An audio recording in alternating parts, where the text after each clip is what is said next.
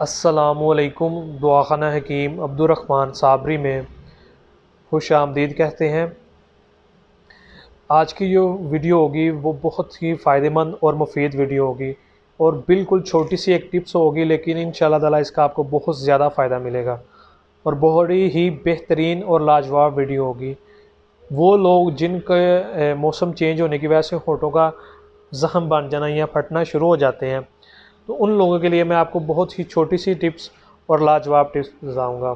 اور دوسرے نمبر پہ یہ آپ کے جن لوگوں کے ہونٹ جو ہیں وہ کالے ہونا شروع ہو جاتے ہیں، ان کو اگر وہ ریڈ کرنا چاہتے ہیں، سرخ کرنا چاہتے ہیں، ان کے لیے بھی اس کا بڑا اچھا فائدہ ملے گا، رزلٹ ملے گا۔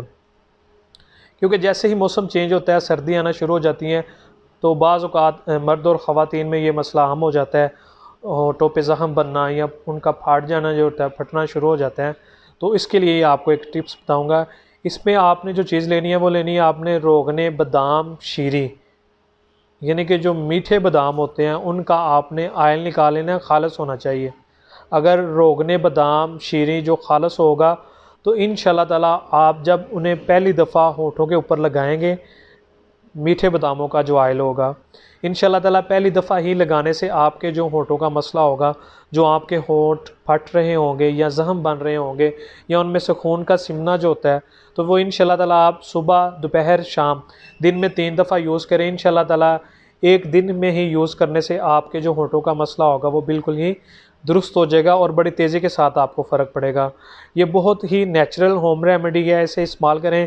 ان شاء اللہ تعالیٰ اس سے فائدہ حاصل کریں اور اس ویڈیو کو جیسے کہ موسم چینج ہو رہا ہے، لوگوں کے ساتھ شیئر کریں، جن کو اس قسم کا کوئی بھی مسئلہ ہو رہا ہے ہونٹوں کے اوپر، تو وہ اس اس نسخے کو استعمال کریں اور نسخے سے فائدہ حاصل کر سکیں۔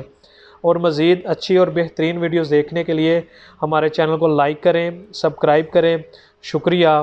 اللہ حافظ۔